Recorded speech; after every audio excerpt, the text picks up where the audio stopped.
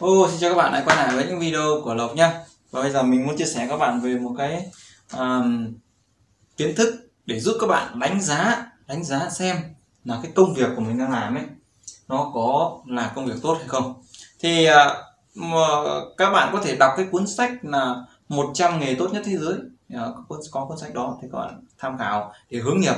Thì uh, trong video này mình sẽ chia sẻ các bạn đó là 5 tiêu chí 5 tiêu chí để đánh giá là cái công việc của bạn làm có phải là công việc tốt hay không năm tiêu chí để đánh giá công việc của bạn đang làm có phải là công việc tốt hay không. Thì cái tiêu chí thứ nhất là mình muốn chia sẻ các bạn là tiêu chí về tiền bạc. À, về tiền. Thì lộc nói thẳng luôn. Ai đi làm là cũng phải vì tiền mới đi làm đúng không? Không đi làm không được. Đấy chỉ có anh em bạn bè thân thiết mới giúp đỡ nhau thôi. Còn tất cả đi làm là phải nói về tiền. Thì mình nói với các bạn này thì cái tiền này là khi các bạn đi, đi xin việc hay là đi làm công việc gì điều đó là bao nhiêu tiền lương một tháng hay là làm được bao nhiêu tiền một giờ hay là thường họ dò hỏi là xem là à, đờ, ở đây có ưu đãi khuyến mại hay là giúp đỡ hay là có cái trợ cấp gì không? Đấy là cái vấn đề tiền là ai cũng quan tâm trước. Thế nhưng mà thực ra mình nói các bạn như này cái tiền này nó so với người này thì là nhiều so với người kia thì là ít. Bởi vì sao?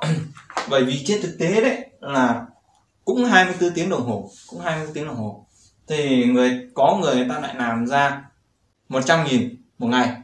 Nhưng là cũng có người người ta lại làm ra 500 nghìn một ngày. Rồi cũng có người người ta lại làm ra 3 triệu một ngày. Có người ta lại làm ra 5 triệu một ngày. Có người ta lại làm ra 10 triệu một ngày. Thậm chí là làm ra 100 triệu một ngày. Thì tức là tiền này, họ nó không có giới hạn không có cố định là bao nhiêu. Thực ra à, chúng ta ở cái tầm nào chúng ta nghĩ cái tầm đó nghĩ tầm đó. Ví dụ người mà đang kiếm 5 triệu một tháng hay kiếm 7 triệu một tháng mà bỏ họ tự dưng kiếm 20 triệu một tháng họ giật mình họ không thể nào làm được. Đấy họ sẽ bị ngạc nhiên về cái vấn đề đó. Thế cho nên cái tiêu chí về tiền này này nói về cái số lượng nó sẽ không cụ thể mà phải nói là cái tiêu chí này là xác định này. Là tiền đấy nó có tăng lên theo thời gian hay không? Tăng lên theo thời gian hay không? Thì uh, bất cứ công việc gì nó phải yêu cầu các bạn phải có sự phát triển lên thì là đúng. Thế cho nên mình chia sẻ với các bạn này các bạn làm một cái công việc nào ấy mà cái số tiền theo năm tháng mà nó tăng lên thì đấy là một công việc tốt. Tức là công việc nào kiếm tiền mà số tiền nó tăng theo thời gian thì là công việc tốt. Mà cái số tiền là theo thời gian nó không tăng mãi được nó cứ bình bình nó cứ như thế mãi thì là không thể là tốt được. Ví dụ như nghề lái xe ôm các bạn à, các bạn có thể tăng nó theo thời gian không đúng không? Có khách thì mới ấy được thôi. nó tăng theo thời gian là tăng theo cái Ờ, ngày xưa là chạy ừ, bốn nghìn một cây số bây giờ chạy năm nghìn hay sáu nghìn cây số đây là theo trượt giá của đồng tiền thôi chứ không phải nó tăng theo thời gian. Các bạn hiểu chưa? Tiền lương nó tăng theo thời gian là nó phải tăng theo cái cấp số tiền lương. Đấy chứ không phải là tăng theo cái trượt giá của đồng tiền. Chính là tiền mà tăng theo thời gian thì đó là không được tốt nha. Các bạn cứ nghĩ lại mà xem cái công việc của bạn là, là 5 năm trước là 10 triệu tháng lương 5 năm sau vẫn chỉ 11 12 triệu tháng lương thì đó là công việc chưa tốt về tiền nó không tăng theo thời gian. Rồi cái yếu tố để chấm điểm thứ hai đó là yếu tố tấm điển về sự thăng thăng tiến nhé sự thăng tiến. Sự thăng tiến ở đây là nói về thăng tiến về không phải thăng tiến về tiền mà nói về thăng tiến về cấp bậc chẳng hạn. Cấp bậc thăng tiến về vị trí thăng tiến về học thức. Tức là trong cái công việc của bạn nó giúp bạn thăng tiến nhiều hơn nhiều hơn. Các bạn sẽ giỏi hơn. Đấy, các bạn sẽ thành tựu hơn. Đầu tiên thì chỉ là học giả thôi rồi đến cử nhân rồi đến uh, um, tiến sĩ rồi đến thạc thạc sĩ hay là thì tiếp tăng lên nữa giáo sư đúng không thì, à, thì đấy là sự thăng tiến tức là sự thăng tiến công việc phải có. Ví dụ đầu tiên là trung rồi là à, trung sĩ rồi đến cái đại úy rồi tăng lên đại tá chẳng hạn. Đấy ví dụ thế rồi đến đại tướng thì đấy là cái sự thăng tiến. Tức là làm công việc gì mà nó có sự thăng tiến thì nó thì đó là công việc tốt. Ví dụ ngày xưa tôi chỉ là chủ một cửa hàng rồi bây giờ tôi là chủ hai cửa hàng chủ ba cửa hàng rồi thì đấy là sự thăng tiến thì đấy là tốt. Các bạn nhé. À, sự thăng tiến nó sẽ tạo ra cái yếu tố thứ ba. Đó là tạo ra yếu tố tiếng. Tiếng hay là danh tiếng ấy, tiếng tăm đấy đấy tiếng. Khi bạn làm một công việc gì đó thì người ta sẽ đánh giá về cái yếu tố thứ ba này. Đó là danh dự của một con người được đánh giá trên công việc. Khi bạn đi đám cưới hay là đi đến cái hội thảo hội nghị nào đó nó sẽ giới thiệu đây là người này. À, người ta sẽ tưởng hỏi bạn là anh ơi anh làm nghề gì? Hay chị ơi chị làm nghề gì? Thế ví dụ như lộc đấy, lộc đi đâu mà lộc giới thiệu à, ừ, tôi làm nghề lái taxi thực ra nó cũng rất là ngược. Đấy, người lái taxi thực ra thì nó cũng làm cái rất là bình thường là lao động là vinh quang thế nhưng mà lộc thì học hành rất là nhiều. Thế nhưng mà lại cuối cùng lại đi làm lái taxi. Và nói ra như vậy thì tương ra tự mình sái với bản thân mình. Như này cái tiếng tăm.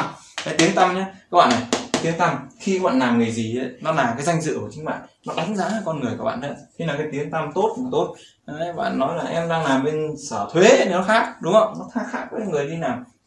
Hay lái taxi thì có gì đúng không? Thế ví dụ thế mình nói thế để các bạn hiểu. Đó là cái danh tiếng của một con người khi làm công việc. Đấy các bạn thấy giống như ngay sơn tùng thì phải khác chứ đúng không? Hay là mà con khoa thì phải khác chứ đúng không? Đấy là con người có danh tiếng rồi. Đấy, thì cái công việc về danh tiếng về về tính chất nổi tiếng là phải có ra xã hội mà các bạn nổi tiếng này rất là tốt. Bởi vì khi mà các bạn nổi tiếng nó nó tạo ra một cái bóng, một cái cái gì đó nó rất là may mắn trong cuộc sống. Đấy. người nổi tiếng tất nhiên là sẽ gặp nhiều sự may mắn hơn trong cuộc sống, nhiều cơ hội hơn trong cuộc sống. Đấy. Cả kể là các bạn làm trưởng công an xã thôi, cũng có nhiều cơ hội, nhiều may mắn, nhiều cái ưu đãi tốt đẹp hơn là người dân bình thường rồi, đúng không? Đấy thế là về tiếng nhé rồi yếu tố thứ tư là chấm về cái yếu tố rủi ro nhé chấm yếu tố rủi ro thực ra thì làm bất cứ công việc gì đấy, nó cũng là rủi ro mà thực ra các bạn sinh ra đời đã làm một cái sự rủi ro rồi.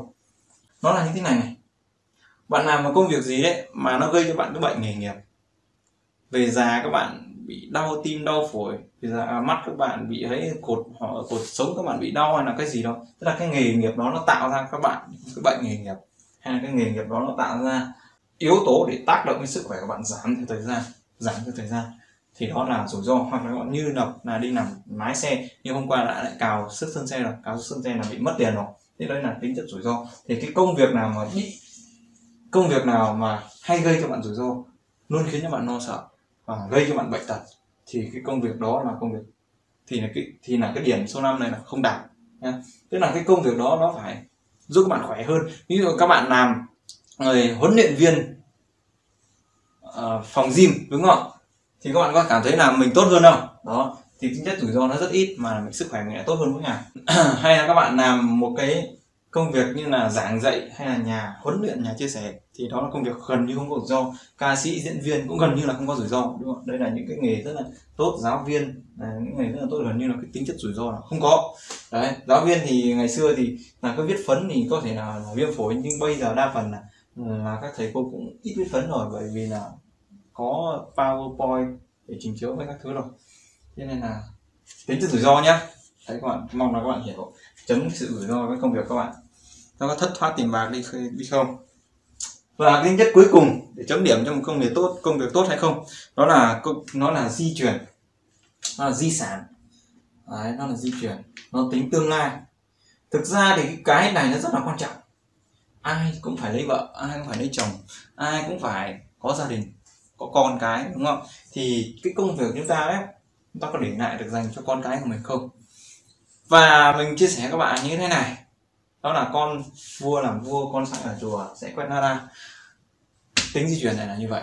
Các bạn, khi các bạn về hưu, khi các bạn nghỉ công việc của mình, nhưng các bạn lại không để được cái gì cho con cái mình. Tiếp nối làm bước trai mà bắt nó phải tự một thân một mình nó tự tiếp tục.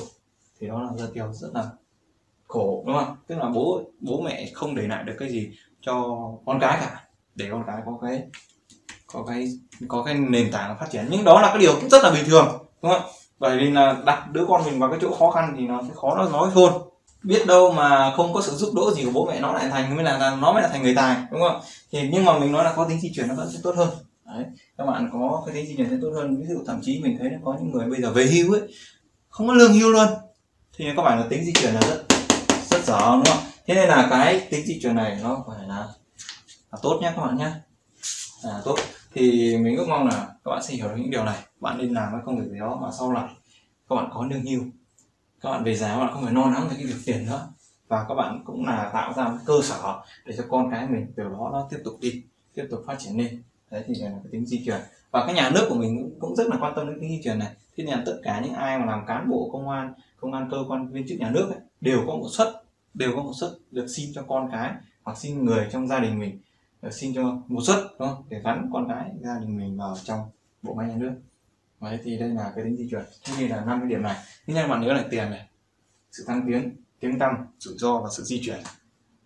Nếu như đạt được năm yếu tố này thì đấy là công việc rất tốt nha, rất tốt. Ví dụ như mình sẽ lấy một ví dụ một công việc.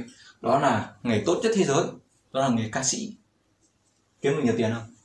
Rất kiếm nhiều tiền đúng không? Sự thăng tiến có rất là nhiều thăng tiến. Bởi vì thường ấy, những người ca sĩ ấy, họ hát một ngày sẽ một hay hơn đạt những vị trí cao hơn. Là sự thăng tiến họ sẽ rất là tốt. Rồi và thực ra đấy thì cái người ca sĩ họ kiếm một, một số tiền khổng lồ rồi trong một khoảng thời gian rất ngắn đúng không? Và họ lấy cái sự thăng tiến này nó không cần bao nhiêu cả nhưng mà được cái tiếng tăm.